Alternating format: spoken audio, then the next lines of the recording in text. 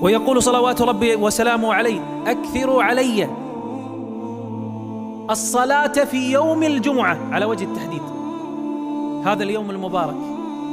فإن صلاة أمتي تعرض علي في كل يوم جمعة. فمن كان أكثرهم علي صلاة كان أقربهم مني مجلسا يوم القيامة.